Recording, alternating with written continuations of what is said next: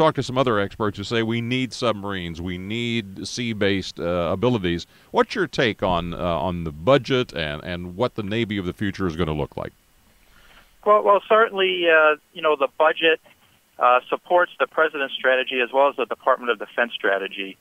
And as you know, we're continuing a focus on the Middle East uh, as well as uh, a focus on the Asia Pacific region. And so while we're certainly going to have a smaller, leaner force, uh, we'll have the force uh, to be able to do the mission that's required. And as far as uh, what this means for the Navy, well, you know, the, the United States, we're a maritime nation. And since 70% of the Earth's surface is covered by water, and 80% of the world's population lives near the sea, and 90% of all world trade by volume travels over the sea, what happens on the sea matters. Uh, matters to our uh, jobs here in Texas, it matters to our national economy, and it matters to world peace. And so uh, that's where your Navy comes in. Uh, your Navy is going to be the nation's front line in war and in peace, uh, operating on the sea, above the sea, and below the sea uh, with our ships, aircraft, and submarines.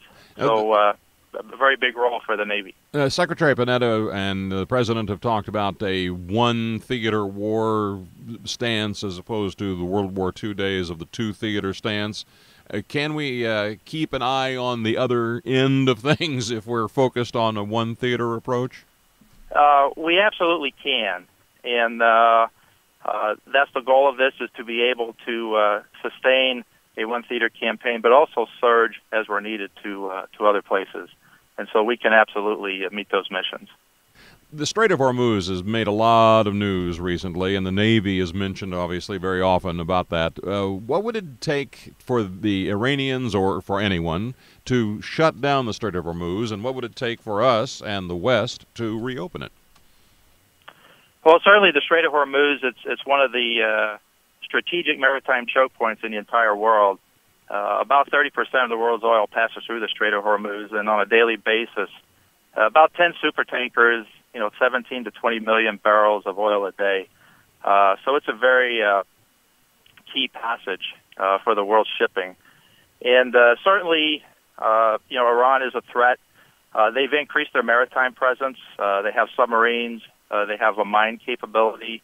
Uh, they have coastal defense cruise missiles, uh, and and so so certainly, uh, you know, they've said that they'll uh, disrupt shipping and potentially close down the Strait of Hormuz uh, if their oil exports are stopped or if their uh, nuclear plants are attacked. Uh, what will it take for us to prevent that from happening? I think it goes into the communications part. Uh, you know, we have let them know that there's certain red lines that uh, if they're crossed, uh, we will take action. And so, first off, I think they have to know, uh, you know, uh, what they're up against.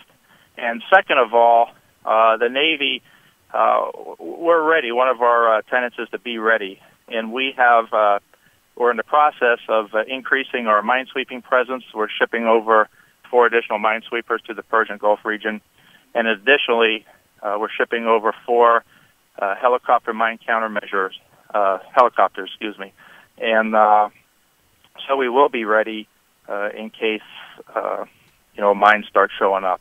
And, and we obviously monitor uh, the activities in the Gulf very closely. Uh, so the bottom line is, uh, you know, if something happens, that's what your Navy is there for. Uh, you know, the, we like to think of a, a good analogy as the Navy is America's away team. uh, because we're fast, flexible, and forward deployed around the world, uh, we're able to protect the nation's interests and uh, the American way of life. All right, now looking at your visit here, you're in the Dallas Fort Worth area for the next couple of days. You're going to be meeting with all kinds of folks on the government level, civic level, corporate level. What's the message you're bringing and that you want people to hear?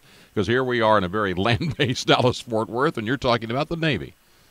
Well, exactly. And, and frankly, the message uh, I want to convey is I want to tell people how the Navy protects America. And I want to show the residents of the Metroplex the tremendous investment they have in the Navy. And uh, yeah, even though we are in the middle of the country, uh, you know, we are a maritime nation, and uh, what happens on the sea matters. And and that's really what I want to convey. And I want to convey uh, how the Navy uh, protects our national interests, and the fact that you know we're on watch 24/7, 365 around the world. So you may not hear about us all the time, uh, but but we're out there doing our job uh, in a forward deployed uh, status.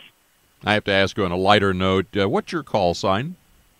My call sign is tree, Is as tree. in what, what grows in the forest. And and when the the USS Enterprise is about to go away, but the fuzzy dice from the Top Gun film crew still hanging from the bridge as it goes off on its last mission.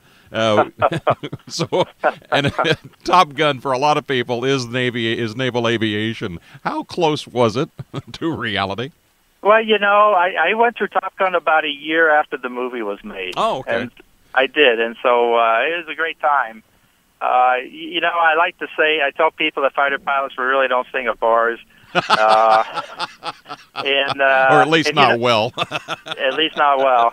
And, and the aviation scenes, uh, you know, they were good. Uh, you know, uh, a lot of times the planes, frankly, were flying closer together than you would normally. right. But, but once again, that's that's to get them in, Yeah. into the into the scene there. Sure. But the uh, but the spirit of the movie, in terms of the training uh, that people uh, go through when they attend Top Gun, uh, that, that's a true statement. You're getting a graduate level degree in uh, both air to air and now air to ground tactics, and they teach you not only how to fly the plane and how to fight the plane, but how the, how your systems work, how your weapons work.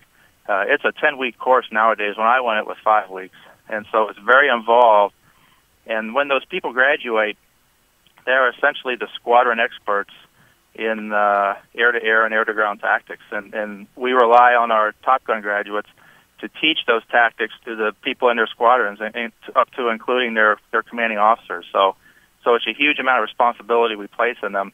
It's a lot of work, a lot of study, uh, but for me, uh, it was it was the best five weeks of, of my flying career for sure. Rear Admiral Sadler, thank you very much. It's nice to know you have our six.